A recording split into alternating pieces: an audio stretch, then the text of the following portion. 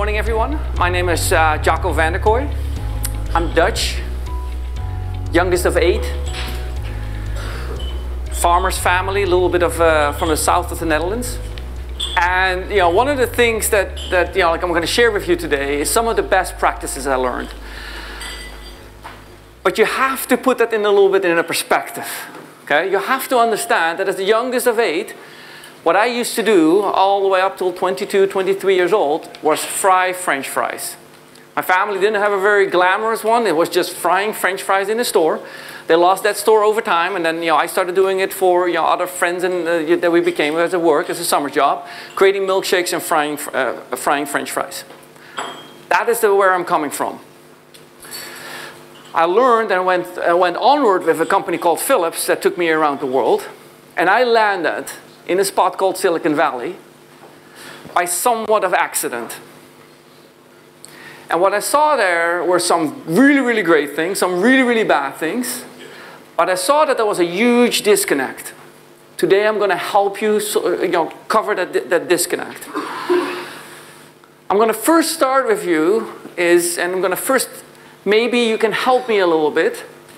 I want, uh, you know, whoever has that ability, ask me a question about my background and ask me a question what you want to know about me, about my ideas on sales and so on.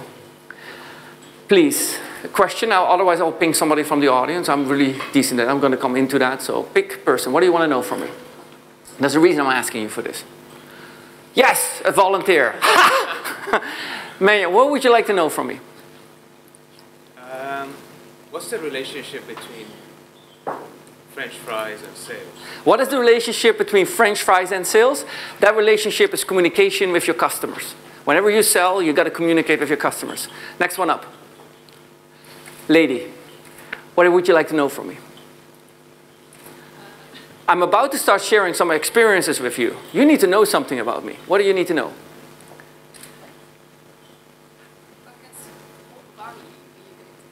What value am I going to give you? I'm going to give you knowledge on real practical situations.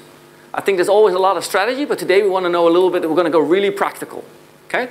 Last one up, gentlemen. Uh, I've heard you speak before. What oh. are you going to say that's new today? Dependent on what you like. Um, why don't you tell us at the end what was new today? Would that be okay? Okay.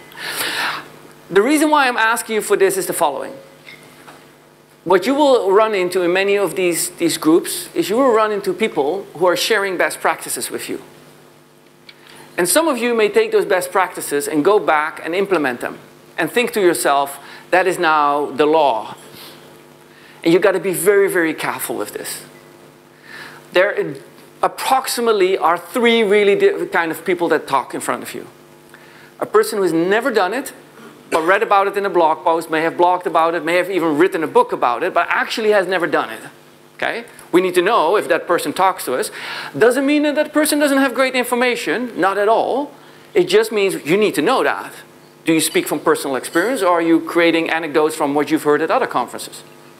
Second, a person who has done it once or twice, commonly a VP of sales or a CEO. Again, super valuable information they have done it before you, and you need to listen to that. But the thing is, they've only done it once or twice. And what worked for them may not work for other people. And then, and I'll, I'll put me into, myself into that category, and I own up to that over the next couple, 20, 25 minutes. You have experts. We do this again and again and again and again. We keep doing this. We see the patterns. That doesn't mean that we're exactly a specialist in the market. But we often know like, okay, this business works like that, that business works like this. We see the patterns. If you do not know who is giving you that counsel, and if you don't know what the differences are, you may mistake the first one for the third one, and that is a very valuable difference. So always in today's world, question, who am I taking advice and counsel from in this setting or from a blog post? Beware. And all people have something to contribute, but beware. Make sense? Give you a few uh, pointers. Largest deal I personally closed, $52 million. That was a deal I did. Uh, uh, we call, for that we use what technique, what you nowadays would refer to as challenger selling. Channels that you probably well know of is BT. I use BT in order to sell Kontiki software, pretty much the, the, the one that you uh, referred to as the, uh, the old BBC player. Uh, that was based on Kontiki software that we sold to BBC, Channel 4, ITV, and so on. We sold it, pretty much everybody down here used that. Consumer industry, you'll see in, in, um, over in the US, we worked a lot with like companies like Dish, DirecTV, Warner Brothers, Disney, and so on. That is where my experience comes from. Going into the Bay Area and starting to work for startups, I became a VP of sales. I worked for seven VPs of sales, seven before I became one, in a slot of three years. We were rotating VPs of sales as fast as we were missing and hitting quotas. I've been, uh, apologize for the bad word, I don't know what, the, what is a good word for screwed that is not screwed that I can say on stage. Fail. What? Fail. No, no. I got, okay, screwed, screwed it. I got screwed over by CEOs out of packages who didn't give me uh, a promotion at a certain point in time where they was clearly committed, only to come to the conclusion that that resulted in me missing out on a million dollars during the acquisition. For those of you who you know, like, uh, understand stock options, I ran the portfolio, I run it today. We are, among others, representing Notion and, and their portfolio companies. We help them, but we also help companies storm portfolio, like Pipedrive this morning. We help, we coach them on what we call go-to-market strategies. And here's what we see go wrong. Folks in general do not understand that the world has changed. And it has changed radically. And so what we do, we generally take on, many companies start saying, hey, what do I do? I need to start selling. I need a new VP of sales. Bring in a VP of sales. And the VP of sales starts working. And as they work, they start hiring people, establish a comp plan, establish quota, uh, get the tooling, get a good CRM in. And so slowly but surely, this thing starts to take shape. In generally, it is you know, not very well thought out. It's just put together with the best intentions by hardworking people. Unfortunately, it mimics building a 20-story building on top of a one-garage foundation. It was never meant to build that big. And these things collapse on top of each other, often at the cost of the VP of sales. In that, they're taking a round of funding with them, devaluation of the company, and so on. Now, some of you might go like, oh, that doesn't happen to us. In essence, that happens to 9 out of 10 companies. Whatever you're comfortable with, it happens to a lot of companies. We need to rethink that. So I'm going to give you a few pointers on why things have changed so much. First of all, my experience today is primarily based on ACVs in the range of up to $100,000 recurring revenue a year, um, volume-based sales. We're looking at at least doing like five or 10 deals a month. lowest I can go is three. If you are cutting deals, 250K, once a quarter per salesperson, you're doing a few key accounts a year, much of this doesn't apply to this to you, okay? That is deep enterprise selling, that is in a different direction. Whether you sell 250K under a recurring revenue, that doesn't make you necessarily a SaaS, a, hyper-growth, high-velocity SaaS company. SaaS business is based on three things. Number one, you probably need to have your software in the cloud. I say this because some people are shifting servers right now and call it, you know, we're, we're a cloud company. Like, no, no, that's not what software as a service was intended. It is something that is different, and you know, we see the recurrence of it, but it's not SaaS. SaaS number one is I got to serve my software in the cloud. Number two, as I serve it, I don't provide a, a lot of value, uh, a price up front. I'm going to draw this, uh, this out here, and we're going to call it the SaaSometer. In the SaaSometer, on the left, I'm having the perpetual hardware and software sales, three-year contracts, long-term selling, okay? Customer buys it, pays it, 30 days later, some form of money in the bank, salesperson, 30 days later, drives a BMW off the lot, right? That, is, that sits here, perpetual. If I go into the middle down here, I'm sitting in SaaS. In the SaaS industry, what do we see? Recurring revenue streams, dollar value is split up. If I go further to the right, I'm going SaaS monthly. This down here is annually. And down here, we have a category that is developing rapidly, SaaS, two to three years. Now, the two to year, three year contracts are starting to develop with companies who are making a big upfront commitment. So just installing the SaaS service is no longer just installing like a little, you know, like a Chrome plugin. It essentially means some activity needs to take place. These companies want to strike two to three year contracts. Government, as they are starting to buy SaaS sales, SaaS services, they buy under two to three year contracts. If I draw this analogy, down here, I am buying a car. What would the analogy be of this? If I buy a car, what would be the analogy of a SaaS service be? A lease? If I go further to the right, what is the next analogy? Lease on a shorter term. Rent. A Zipcar sits in there too, right? So rent. And, you know, like Zipcar, I could, you know, like dependent on whether it's by hour and so on. But rent sits here. What sits here? Uber, taxi. And we can argue, and it's a great conversation to have. Does Uber sit here and then a taxi, or does a taxi sit here? Um, which one is lower to the, to the right? What we see on the left, people buy value. If I buy hardware, I do not get the impact of that 30 days later. If I buy $12 million worth of Cisco gear, it's going to take a while for that is installed, you know, simulated inside, inside the, the network. So when I buy, is I buy the promise from you that, hey, if you buy the service, you're going to get this great impact. Very common in enterprise selling. We even call that, if we sell it to you, we call it the value proposal with a three-year return on investment or a five-year return on investment. However, on the right, something different happens, right? Down here, I'm now you know, starting to buy here the, the, the software. Down here, I'm starting to get it monthly. There's one in here, monthly subscription model. Down here, something special happens. What am I buying here on the right in the world of software as a service? Go further to the right. Where do I end up with? instant service, pay-per-view, usage, and so on. So I'm going down here, one above, and I'm buying usage. Okay? There's one more. That next one is impact. I'm essentially not only buying usage, I'm buying from you results.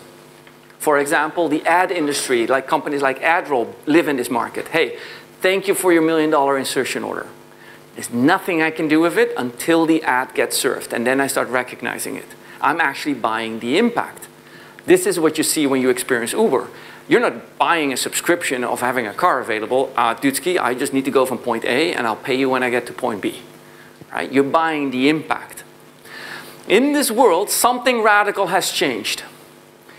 If I buy product between the risk of the buyer, how high is the risk on the buyer on this side? high.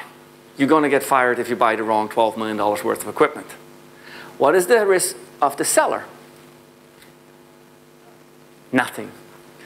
Jacco can sell ice to Eskimos. You gotta see what he get. The dude, man, he just sold $12 million worth of, of gear. They're not even using it. They're using it as door stoppers. That dude is a rainmaker. Awesome. Imagine you live in that world today that on Twitter would chase you back and would, on some social media, annihilate your reputation overnight. Yet, 10, 15, 20 years ago, that's how enterprise sales was done. That was what, it was, what happened. We call these folks rainmakers. Could sell anything to anyone. Now, in today's world, I'm sitting on the other side. What is the risk of the buyer on this side and what is the risk of the seller? It reversed. The seller now carries most of the risk, and the buyer carries hardly any risk. This risk pattern that has shifted has essentially shifted the entire valuation of companies and how they're selling. We just never changed that. We just thought to ourselves, like, look, you know, just keep selling. You see this because I can tell you right now, if I look at your comp plan, it will be rare that I see a comp plan that is not similar, shows similarities to what the comp plan was 10 years ago, 15 years ago. And if I see how your recruiter works, your recruiter has not sitting in here and sitting here like, oh, this changed, I need to hire different people. No, none of that. We're hiring the same people, we're compensating them approximately the same, we're running approximately the same VP of sales, and generally an alpha who is trying to create this competitive behavior. We even called the person who contribute individual contributors. And that is the problem that we are facing. Today I'm going to demonstrate very briefly to you in this that what was wrong with all this is that we never understood it, and therefore we built the wrong model under the wrong assumptions. We just rolled into it. Now, for the past 10, 15 years, we were benefiting from what we call a value proposition based on a challenger sale that was so good that the seller, the buyer actually didn't care. The value prop was very simple over the past decade. So if I hear you right, Jacco, I just had the financial crash in 2008. I'm about to place a $3 million purchase order with an SAP and Oracle, and you're telling me since you're Salesforce that you can sell me the same product and service for $5,000 a month. Yes, I buy you. Why? Because my CapEx just got wiped out post 2008. Post 2008, CapEx budgets got wiped out. Nobody had CapEx anymore. So everybody had only one thing to buy, like I still need my software. And lo and behold, SaaS was ready, got matured in the previous year, rolled out, and in America, boom, fell straight into a, a, a, a ground of, of, of saturated material. What we had to do simply was using low-cost resources, today you would refer to them as SDRs, AEs, two-stage sales organization, rolling through, picking up the phone, quickly setting up a meeting, meeting gets handed over, and, we, and all the, the sales pitch was, we sell the same as major software vendor at OPEX budget instead of CapEx budget. You would be, if you're a C-level officer, you would be fired if you wouldn't take that call at that point in time. I'm oversimplifying. There's always ifs and hows and stuff like that. This is what fueled the company. So what tools were needed to make this really successful? Oh, you know what? We probably need some, some marketing software that can get the word out. Which company? Eloqua Marketo. We probably need companies that we can um, start inside selling. Oh, we have a whole bunch of inside sales organizations and uh, software programs. And so suddenly all the tools that were supporting that started to flourish and to flourish. Yet today, and what we've now seen, is that model has fallen on its sword. Two-stage sales organizations with large-scale SDRs organizations no longer work. The CapEx over OpEx, everybody knows SaaS. You don't have to convince CEO anymore, CTO, CMO that they need to go. And so the use of an uneducated, least knowledgeable person into your organization, SDR, as the first point of contact with your customer, no longer works. There are exceptions, always, but the exceptions are no longer the norm. They were the norm previously. What I'm going to show you and what I'm going to describe to you is the difference between correlation and causation. Correlation means shark attacks are up and ice cream sales are up. They're not connected. They're correlated because the weather is hot. People go to the beach, therefore one correlates with the other. Causation means that one causes the other. Point of view today, most sales organizations are correlation based. I'm going to depict that in a simple, I'm going to, I'm going to need some help. And that help, what I'm going to need is, um, I see a few uh, women in the, the audience. So get, if the women could you pull out your iPhone, I need you to help me calculate. I'm going to give you the, the women calculation. So I see at least one, two, three. So you need to help me. And then I need a few guys who does, do the same calculation. We're going to take 1,000 leads, just in this case we're using inbound model. On that, I'm going to convert on a conversion rate, and I'll pick 30%. I'm going to change the conversion rate to, which is to the next one, at 20%. I'm going to create a win rate, call it 1 in 5. I'm going to close at a price of, let's say, $15,000. Let's keep it at that. I can go further, but let's keep it at that. So if I, if I generate this, calculate out to me how much annual recurring revenue this would create. This is an annual contract value. 30%, 20%, 20%, 5 times 15,000 times 1,000. How much sales does that give me, give or take? While the ladies do that, oh, you're not, no, no, no, Dutski, you're not a lady. but I need you next. Can you help me on the next one? Okay. So now I'm going to take the same 1,000 leads. I'm going to make that 0.32. I'm going to make that 0.22. I'm going to win 1 in 4 and a half. So that, that needs to be 2 divided by 9. I, I have run into that. And I'm going to sell this. That's about 20% discount. And I'm going to sell this at $18,000. You calculate that one out. Okay. Ladies, what was the, the number on the first one? Say that again. 190K. 198? Sorry, 180. Thank you.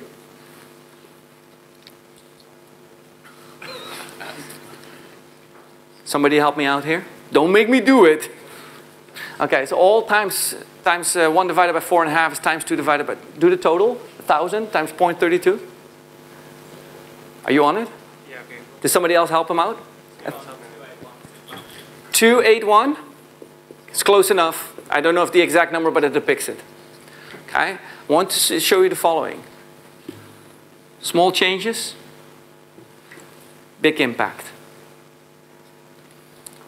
Few percentage points, big impact. This is just what happens before the sale. If we, if we start adding the metrics behind the sale, the churn, the upsell, the cross-sell, and so on, this number starts to, to get even bigger. And what you quickly are going to see is that down here, you got double your sales in general with the other factors in between. Now, why is this? Where is this caused by? It is caused by that these numbers are multiplications of each other. And that is the problem that most organizations don't realize. If I ask, and if I go back to my life as a sales VP, and the person asks me, Jacco, you got a, you know, like an X million dollar quota, let's say a $10 million easy number quota, how are you going to meet it? I would go like, hmm, we're going to get like about one to $2 million from BT, I'm going to get one to $2 million from AT&T, so that puts me about between three and four. Then my superstar is going to bring me in about $2 million on a big deal, so I'm about like somewhere around six. And then the rest of the team is going to do something around $4 million and they're going to close about five or 10 deals. And what I, in essence, am doing is I'm adding up numbers. I'm not multiplying, I'm adding up.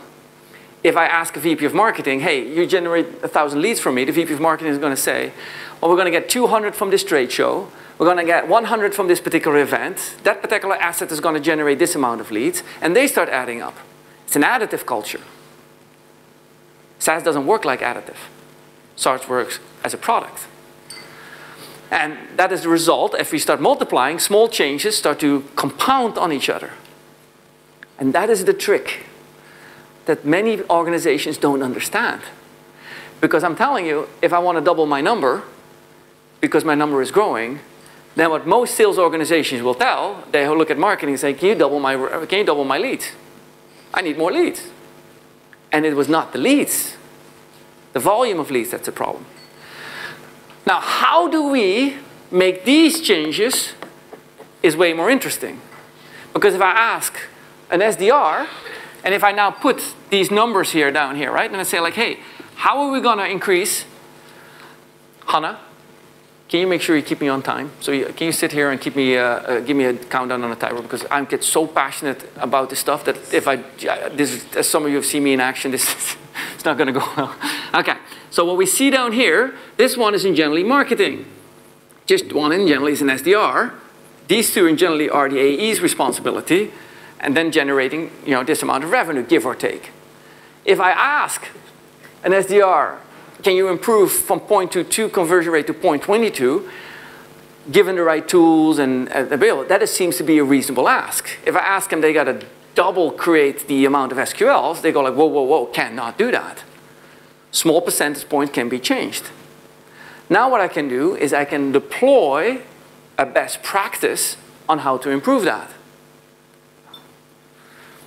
This product, is, the thinking in product essentially moves us away from the artistic point of view where we normally looking at sales as an art. I got it. It's a black skill that I was given I have no idea, but I was never given the black skills. I closed some of these big deals, but Dudski's, it was not a black skill, okay? I have never had a customer who said, and you know, the, one of the last big contracts was a contract of Jeff Bezos' uh, organization, Amazon, for a couple of million dollars. They didn't come up to me and say, Jacco, dude, excellent negotiation, superb. Your pitch, wonderful. You know what they say?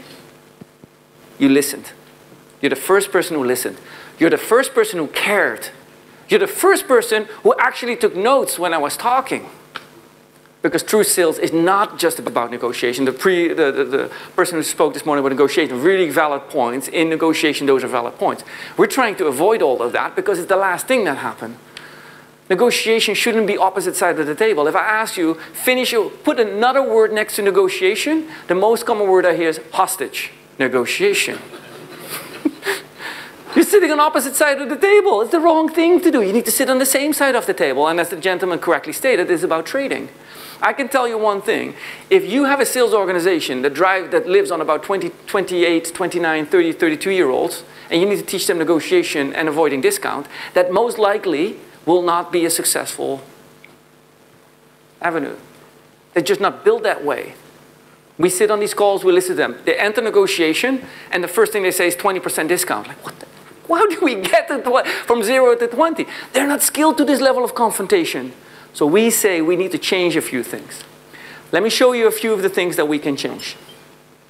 In this journey, in this journey of, of in order to make this successful, we look back and we say, it's like, look, if I draw this as a, a form of a sales funnel, then in this sales funnel, what matters most to a customer are a few key moments. We don't need to helicopter our customers all through the first touch, last touch, every touch. Oh, they opened up slide four of the presentation. Get ready, something exciting is going to happen. They're on it, 25 seconds. Are you checking? 28, a new record. Like, Dudskis, Dudskis, shut the fuck up, right? Why are we doing this? This is not what we need to do. And so instead, what we say is like, look back on your life. Look back to 2017. And think to yourself, was it a great year or was it a bad year? If you think of yourself as a great year, then probably a baby was born, maybe a new lover came into your life. Um, uh, you know, like as some of the kids the other day that I spoke to, like, man, I had a, I remember a steamy night of you know what. Like that was really good in 2017. I'm like, yes, love it. I'm older, I don't recall anymore. but I, I remember, they have unique moments. And these unique moments add up. And at the end of the day, they add up these few moments and they go like, it was a great year. I had a promotion and so on and so forth. Likewise, if you are, hopefully you didn't lose a person that was beloved to you, you know, stuff like that, then make it a bad year. And it's okay, not every year needs to be a great year. What you're not doing is counting the days. I had 265 days that were awesome. I had about 12 days that were eh, and I had 88 days that were negative. You don't think about that. You only think about the moments that truly mattered. And so too does your customer. Here, I will give it to you the seven key moments that truly, truly matter to a customer. They're not that doesn't mean that they have to apply to everyone. Some of you may say, oh, we have a different moment. These are just generally the seven key moments. Moment number one, you need to reach out to your customers, not because they're a fit, but because they have a pain.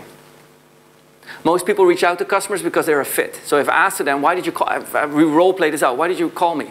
Oh, I noticed that you are the title at the company size in a vertical industry that we sell to. Congratulations. Do you want a meeting? 50 minute meeting to why in the world do I want to have a meeting? I was literally waking up this morning, I was looking at my diary, I'm like, yeah, empty, let's get some meetings today, right? Nobody wants meetings, so that's not going to happen. However, if you reach out to a customer who has a pain, and as I role played this earlier with a company called Akkroo, reach out to them and say, I noticed that on your recent trade show, that you were still doing leads manually, that you have four events coming up, and that one of it is going to be the biggest event that you ever had. Then reach out to people who are a pain, not a fit. Second moment, conversation, not qualification. First thing that we do in the, particularly SDR and AE, may I ask you, how big is your company? How many people are you in, have in sales? How many people you have in marketing? In other words, how many seats do you have? I can tell you right now, I can band you budget, authority, need, and timeline. I can do that online via my chat box. And for those of you who we sometimes test, it happens. I get an SDR on the phone. May I ask, are you currently on, on Salesforce CRM? Yes. Okay, they just want to make sure they can sell to me. Check. May I ask, how many seats are you looking for? Eight. Okay, they're, right, they're qualifying me. Well, the problem with qualification is there's nothing in it for me as a buyer. I mean, there's a great value in it for the seller, but nothing for a buyer. Moment number two, don't qualify. Have a conversation. Thank you for coming in today. What brought you in? Oh, you're looking for something. Have a conversation. Number three, discovery, not sales pitching. Prescription before diagnosis is malpractice, people. It's no longer allowed. So what we need to do, we need to ask our customers questions, learn about their business with the intent not to sell them, but with the intent to solve their problem. because I can tell you, Buyers today can smell that you're selling like a mile away. The first thing that we always have to do in every training class is like, okay, who of you had training before? Oh, well, we have to unwind a whole bunch of BS from you that you have no, absolutely no idea about. They all start selling, selling, selling, selling. At any given point in time, they essentially sell. So you got to stop that. You got to diagnose, learn your customer, understand, make a proper recommendation on what is right for them, not right for you. Do that, and what is right for you will come to you. Fourth one, trade, not negotiate. The gentleman who discussed uh, negotiating hit the nail on the head. It's about trading, not negotiating. For those of you who operate a service, SaaS service, and you have a SaaS price, there is no discounting in SaaS service. It doesn't exist. The discount came from when I sold it to you for $3 million like five years ago, and I'm giving it to you at $12,000 a month, a year, whatever it is right now. That's the discount, okay? Like, I don't know where you get the discount from. That doesn't mean I cannot adjust the price. It just simply means that I have to trade. Oh, I understand. Yeah, so you, you're working with a budget. Okay, but, okay, now may I ask, if, if, if I'm able to help you with the price uh, range that you have given, would you be able to, to, to introduce me in two other people that can benefit from our solution? Those are hot SQLs that are going to come in. They're valuable to me, right? Immediately trade. Can you introduce? And I didn't say, could you refer? Because refer instigates something of like my coach after four years of blood, sweat, and tears, he gave me a recommendation. This is not recommendations and referral. This is, do you know anyone else who can benefit from our service? Very specific words, but very much needed.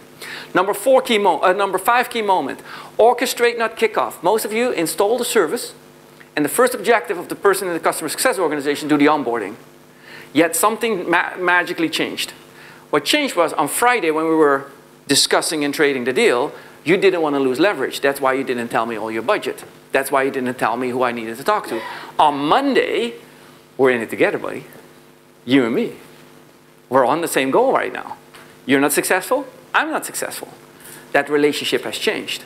If I then come to you and say, let me onboard you, okay, well, it gets onboarded. What we need to do is, hey, look, let's get sit back together. I know you wanted to have this date. Well, that date was a little bit flexible. Uh, you know, we wanted to make sure what really is the date is XYZ. Great. And actually, you know Johnny, he's actually a little bit of an, uh, he's against you. We had to convince him, so you probably need to convincing him. So suddenly you get all these new details. You need to get those. The deal has changed. The relationship has changed, and therefore you can redo the deal. Therefore, you need to orchestrate, not just do the onboarding. Number four, usage. We think it's about usage, but usage means it's for you. Oh, we have great usage. The usage doesn't mean anything for the customer. Usage is not like, oh, dude, how is, how's the product? Man, I got great usage out of it. Like, great, what does that mean? Customers want impact, not usage. Final moment. We talk about upsell, cross-sell. Essentially, it's about growing together. How are we going to grow together? When you talk to your customer, say, hey, are you ready to renew? Um, sure, I got value out of it. But when you talk to them, is, is there an area of growth? All these things seems to be primarily words, but I'm telling you, if it comes out of your mouth and you think about it, then you start doing it. Negotiating, closing, pitching, qualifying, those words are no longer valid in today's world of selling. Customers reject it, and when they recognize it in your behavior, they're done with it. Now, what I show and demonstrate down here is simply the one, a blue, uh, one of the blueprints. And in these blueprints, we see down here, how can we improve simply the discovery call? Opening up of the call, where we listen to the tonation of someone's voice. Great, you want to talk about soccer? Talk about soccer. Your role during the opening of the call is understand which voice belongs to which person so you know who's the decision maker. So if that person speaks, that value may be more valuable.